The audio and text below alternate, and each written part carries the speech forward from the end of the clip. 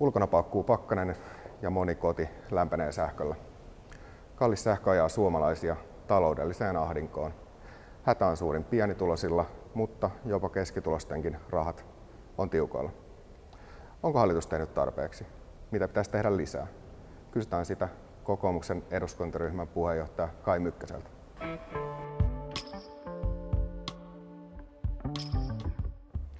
Kai Mykkänen, tervetuloa haastatteluun. Kiitos kovasti. SDP esitti yllättäen sähkölle määräaikaista hintakattoa. Tämä näytti tulee yllätyksenä myös hallituskumppaneille. Keskustasta kuvailtiin, että tätä SDPn toimintaa kuvailtiin sekavaksi ja rumaksi sirkukseksi, niin miten kommentoit tätä viimeisintä käännettä ja miltä hallituksen kyky ratkaista tätä sähköongelmaa nyt näyttää? Niin, olikohan vasta nokitus luonnonsuojelulain äänestyksiin pari viikkoa sitten, jossa keskusta ympäristövaliokunnassa hyppäski Aisan yli ja rupesi sopimaan opposition kanssa muutoksia lakiin ohi muiden hallituspuolueiden. Et veikkaanpa, että, että hallitus niin kuin on nyt ottanut kukin puolue vapauksia hyökätä toisen kimppuun ja, ja tuli selvästi yllätyksenä valtiovarainministeri Saarikolle tämä SDPn ehdotus 20 sentin kattohinnasta sähkölle, mutta sanoisin, että ei olisi pitänyt tulla, koska kyllähän tämä tilanne, jossa sä maksat 60 senttiä pörssisähköstä ja yhä useampi maksaa, koska siihen perustuu kaikki uudet sopimukset, että tehdään, tehdään tuota pörssi, pörssihinnasta tai ö, lähellä sitä olevaa sähköyhtiöiden toistaiseksi voimassa olevina. Ja, ja sitten samaan aikaan kuitenkin tuotannon kustannukset on siis käytännössä alle 20 senttiä kilowattitunnilta ö, kalliinkin tuotannon osalta ihan pieniä poikkeuksellisen kalliita tuotantotapoja lukunottamatta, mutta me tuotetaan 20 sentillä maksimissaan ja ostetaan 60 sentillä. Joku ei täsmää.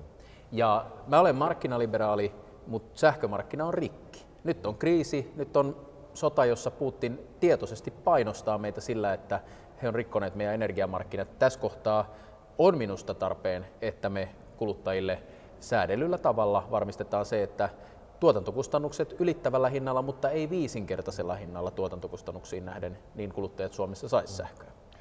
Mennään sitten näihin kokoomuksen ratkaisuihin. Mitä keinoja teillä on, jolla kansalaisten hätään vastataan?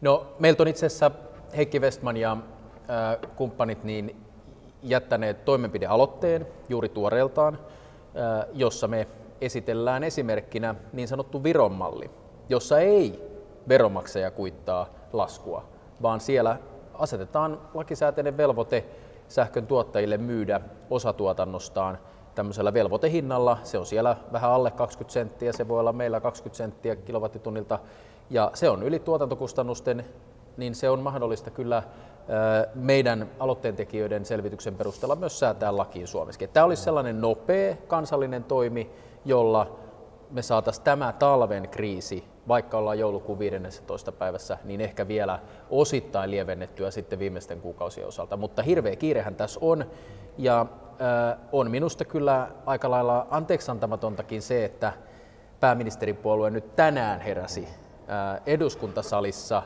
kun me ollaan esimerkiksi esitetty jo syyskuussa sähköhinnoittelumalliin muutoksia, ja heidän olisi silloin pitänyt olla tässä pisteessä, mistä nyt lähdetään, jos olisi tämä talvi haluttu ikään kuin hoitaa oikeudenmukaisemmalle hintatasolle. Asiantuntijoiden mukaan sähkön hinnan osalta pahin on vasta edessä, kun kelit kylmenevät ja lisääntyvä kulutus nostaa hintoja entisestään, niin miltä hallituksen toiminta näyttää tämän sähkö- ja energiakriisin hoidon osalta?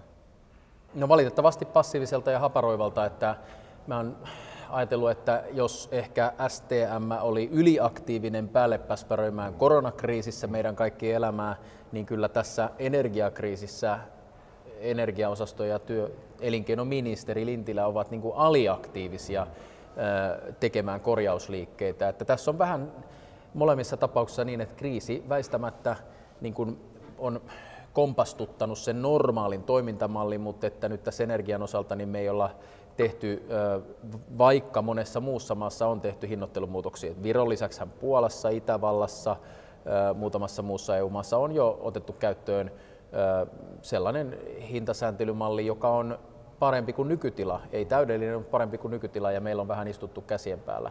Mutta sitten kun viittasitkin tähän, että et tietysti hintakriisin lisäksi meillä on myöskin riittävyyskriisi, että katkeeko valot sähköpulaan jossain vaiheessa niin me ollaan esitetty jälleen jo elokuussa itse asiassa sitä, että kun meillä on sadoissa tuhansissa sähkölämmitteisissä taloissa, meillä on semmoiset etäohjausmahdollisuudet, mutta niitä ei ole vaan otettu käyttöön.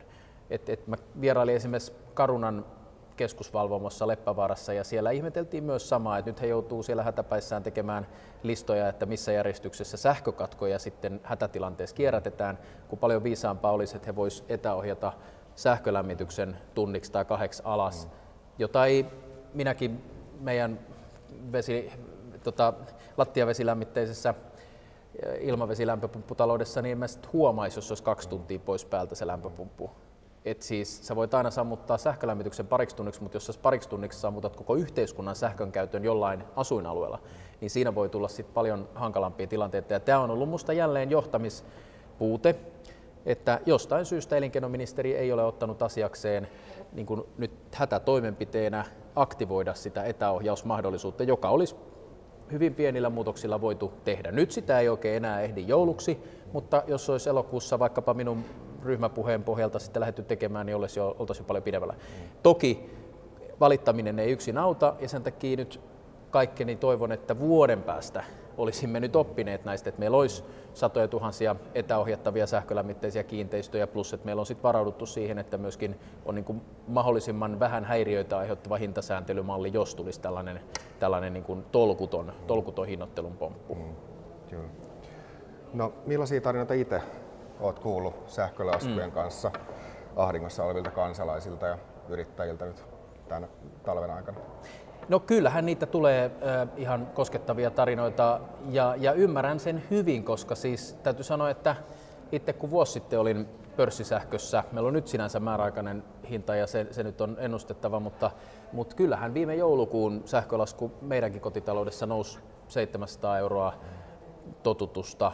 Ja onhan se nyt kelle tahansa siis kova juttu, mutta totta kai vielä semmoisessa taloudessa, jossa, jossa tota, on sillä hetkellä taloudellisesti muutenkin tiukkaa, niin kuin monella on. Vaikkapa mekin tunnen sen hyvin nahoissa, niin kyllä miten paljon lainakorot nousee, niin nyt on aika monta sellaista ihmistä, jotka on ikään kuin hoitaneet asiansa mielestään hyvin, on tehneet töitä, on hankkineet oman kämpän, omakotitalon ja nyt sitten samaan aikaan se asuntolainan korko, niin se tuota, kahmii isomman osan lompakosta ja sitten tulee nyt päälle vielä sähkölaskut, jotka voi pompata rajusti, niin, niin kyllähän tässä on ahdingossa, ahdingossa monia ja, ja sen takia tässä nyt on oikeinkin musta kyllä sitten tehdä poikkeustoimia poikkeusaikana. Ihmistä on kova, niin jos nyt uusia keinoja hallitukselta ei kuulu, niin onko tilanne sellainen, että tässä voi vielä uutta välikysymystä pukata tämän asian tiimoilta? No se on opposition järein asia silloin, kun ei tahdota muulla keinolla saada hallitusta hereille asiassa, mutta sanoisin, että täällä on nyt mitä neljä, viisi välikysymystä eduskunnassa tänä syksynä käsitelty, eikä ne ole autuaksi tekevä voima. Että kyllä se ainoa, joka tässä voi suomalaisten sähkölaskuihin vaikuttaa, on se, että hallitus elinkeinoministeri Lintilän johdolla tekisi nyt toisin kuin tähän asti, eli nopeasti lakiesitys tänne eduskunta. Ei me pystytä sitä täältä eduskunnasta lakialoitteella näin monimutkaista asiaa saamaan voimaan, että kyllä se vastuu on siellä. Kiitos kokoomuksen eduskuntaryhmän puheenjohtaja Kai Mykkänen ja hyvää joulun odotusta. Kiitokset kovasti ja hyvää joulua kaikista synkistä mm. asioista huolimatta, mutta onneksi on ainakin näyttäisi olevan valkoinen joulu tulossa, että nautitaan siitä. Kyllä, kiitos. Kiitos kovasti.